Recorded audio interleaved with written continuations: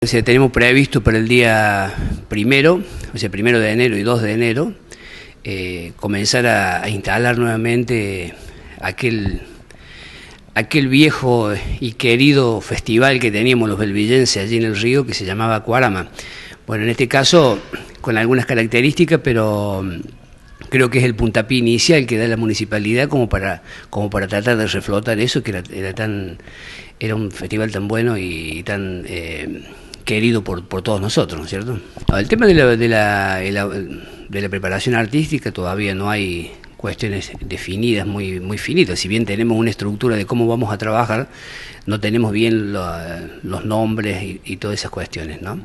Lo que sí te puedo decir que podemos, vamos a trabajar sobre eh, editando o reeditando aquellas eh, canoas que pasaban todas iluminadas eh, llevando a las princesas y la cual hago extensivo, o sea, quiero convocar también a todas aquellas personas que quieran participar de este desfile, en la cual se van a trabajar dos noches, o sea, la primera noche se van a trabajar con, la, con todas las canoas iluminadas eh, sobre el río, donde van a, van a trasladar a las princesas en la primer, en la primer pasada, diríamos así, que va a ser el día, el día sábado, y el día domingo eh, también el desfile de, la, de, las carrozas, donde en realidad después eh, se va a dar la elección de la reina, ¿no?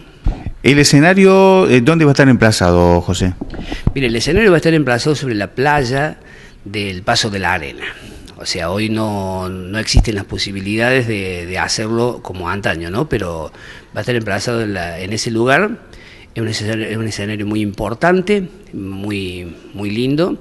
Eh, queremos mostrar algo que sea eh, que sea lindo, ¿no es cierto? Que si queremos empezar a, para reflotar esto, eh, tenemos que empezar con algo relativamente bueno, por cuestión que la gente le, le, guste y podamos seguirlo en el tiempo. No olvidemos que nosotros terminamos nuestra gestión y seguramente la, la, las gestiones que nos sucedan querrán seguir con este, con este festival y bueno, es, un poco el puntapié inicial como para seguir, ¿no? Este le, hemos dado un tinte, desde el Ejecutivo, se le ha dado un tinte eh, solidario, o sea, no se va a cobrar la entrada, o sea, las cantinas van a estar administradas por lo que es, por, lo, por las cooperadoras de las escuelas.